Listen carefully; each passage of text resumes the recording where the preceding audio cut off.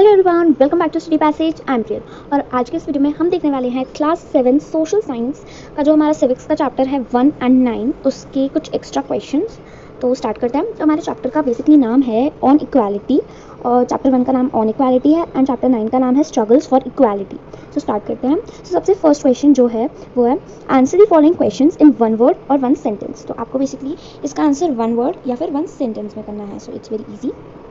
first question है on what basis were Ansari treated unequally जो अंसारीज होते हैं वो किस बेसिस पर अनइक्वल मान जाते थे सो या think upon it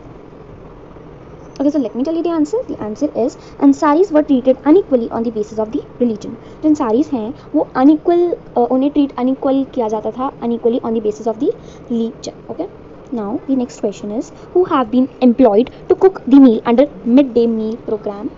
okay so yeah you have similar questions to similar time to answer so now it's the time to discuss so this was the question who were employed to cook the meal under the midday meal scheme so the answer will be the dalit women were employed to cook the meal under midday meal scheme next one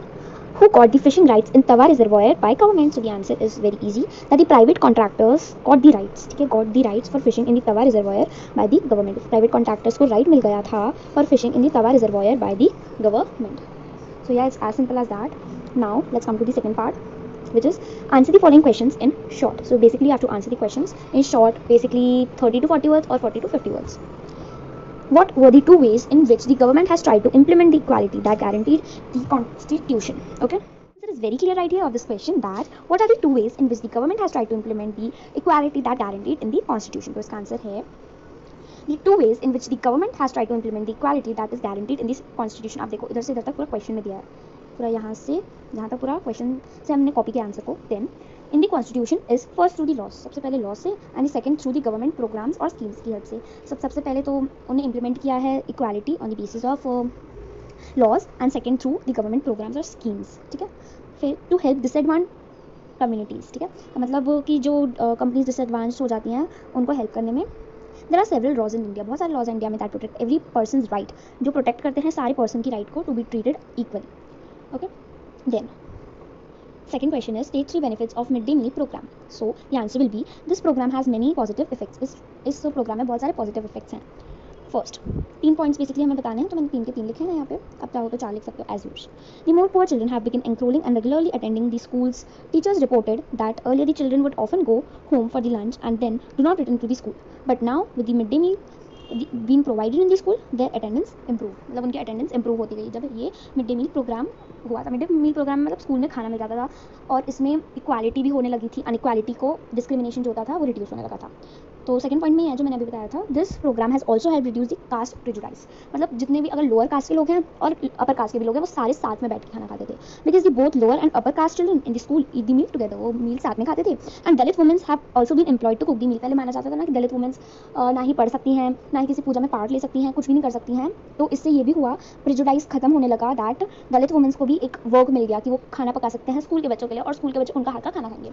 This was the second point third point is their mothers who earlier had to interrupt their work जैसे पहले मम्मियाँ school मतलब बच्चे को school में छोड़ के अपने office चली जाती थी एंड वापस आना पड़ता था उन्हें अपने बच्चे को फ़ीड करने के लिए। तो मतलब इंटरप्ट करना पड़ता था अपने वर्क को राइट मतलब वो इंटरप्ट करती थी, वापस आती थी ऑफ़िस से घर में एंड दिस ऑल तो who earlier had to interrupt their work to feed their children at home during ठीक है during day time during the day तो इसमें बेसिकली अब जब मिड डे मील प्रोग्राम वो हुआ है इंट्रोड्यूस हुआ है जब से, तब से क्या होने लगा है कि मम्मी को अपना काम इंटरप्ट नहीं करना पड़ता था। उन्हें ऐसा नहीं करना पड़ता क्योंकि उन्हें अपने बच्चे को फ़ीड करने के लिए घर पर वापस आना जब स्कूल में मिल रहा है तो दो दो बात उन्हें नहीं बच्चा ऐसा लगा दैट फिर third question why is the Indian constitution called और लिविंग डॉक्यूमेंट हम इंडियन कॉन्स्टिट्यूशन को लिविंग डॉक्यूमेंट क्यों कहते हैं? So the answer is right here the Indian constitution recognize the equality and justice for all the person जो Indian constitution है, वो सारे लोगों को इक्वालिटी एंड जस्टिस प्रोवाइड करता है एंड रिकॉग्नाइज करता है. Movement and struggle for equality जो मूवमेंट्स हैं and struggles for equality in India continuously refer to the Indian constitution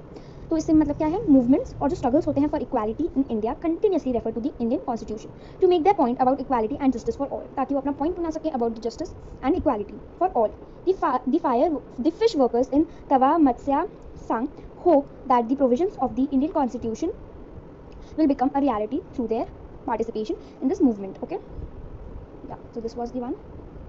now answer the following questions in detail अब हमें इन answers को detail में करना है answer mention the provisions made in the constitution for the recognition of equality so basically there are how many there are basically four provisions made in the constitution So let's read it out. This recognition of equality in, includes some of the following provisions in the Constitution. First, first है सारे persons equal हैं law से पहले. Every persons are equal before the law. Second is no person can be discriminated against on the basis of their religion, race, caste, place of birth, or their gender. Third है every person has the access to uh, to all the public places including the playgrounds, hotels, shops, markets, etc. And the fourth one and the last one is untouchability is abolished. Abolished का मतलब is not at all taken. How did the cooperatives set up by the TMS change the life of the fish workers? With the TMS with the TMS takeover, the fish workers were now able to increase their earnings substantially. This was because they set up the cooperative which would buy the cat and catch from them at a fair price. They have now begun to earn three, three times more than they earned earlier. The TMS also had begun to giving the fish workers loans for repair and binding units मतलब उन्हें पैसे भी देते थे, ताकि वो अपने loan मतलब उन्हें लोन लेते थे, ताकि वो रिपेयर कर सके एंड बाइंग यूनिट्स कर सके। By managing to earn higher wage as well as by preserving the fish in the reservoir the T has shown that when peoples recognization get their rights to livelihood, they can be good managers. So, yeah, this was the chapter. I hope आपको समझ में आ गया है। अगर आपको किसी question में doubt है आपको किसी और सब्जेक्ट के, या किसी और चैप्टर के अगर आपको ऐसे कुछ एक्स्ट्रा क्वेश्चन चाहिए विद एक्सप्लेनेशन तो you can comment below thank you so much please like subscribe and share thank you